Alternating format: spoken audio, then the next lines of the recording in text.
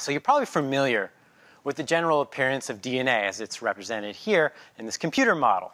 Make it active. It's a double helix of two polymeric strands. Now, if we unwind those strands, we can see the stacked nucleotides that form this link structure.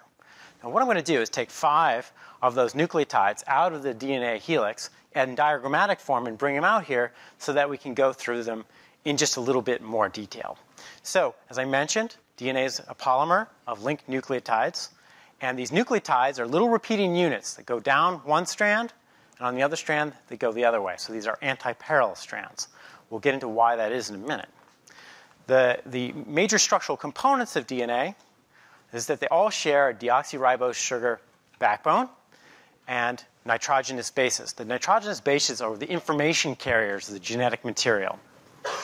The nucleotides themselves are linked together by phosphodiester bonds, and if we zoom in here, you can see why DNA has a negative charge.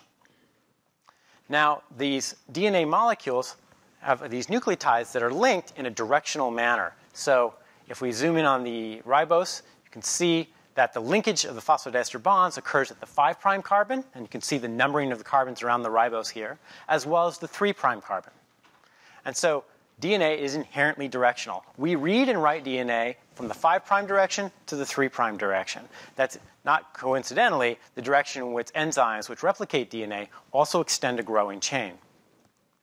All right, now back to the nitrogenous bases. There are two kinds. There are purines, adenine and guanine, and there are pyrimidines, thymine and cytosine.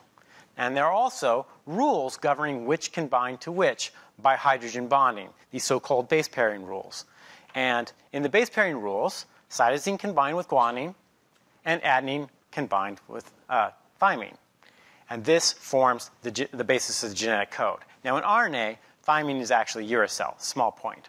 Now, a beautiful little feature of knowing this hydrogen bonding pairing rules is that if you know the sequence on one strand of DNA, you automatically know the sequence on the other strand of DNA. So if this reads ACGTT cross, 5' to 3', on the other strand going the other direction, it's going to read AACGT.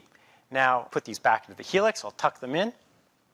So here are the nucleotides. We'll put them back in there and twist it back up into this helical, right-handed helical spiral of antiparallel strands, where you can clearly see that the bases form sort of a, a semi-stacked ladder, like steps on a staircase.